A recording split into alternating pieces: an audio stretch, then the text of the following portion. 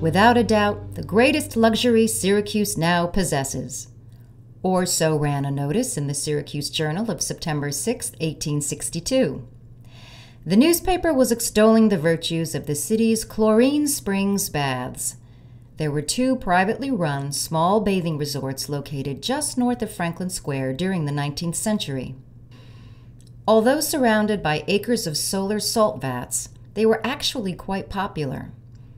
In an era when many homes did not have the luxury of indoor plumbing or hot running water, the opportunity for a warm bath or a cool one on hot summer days was worth the modest price of admission.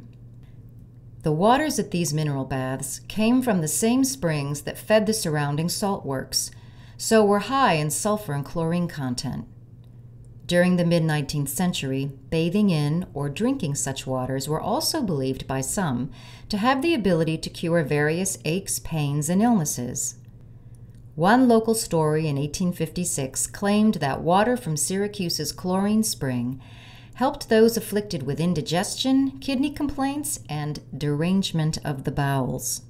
There were different individuals who operated Syracuse's mineral baths during the 1800s. One, Armstrong Maltby, gave his name to a nearby street.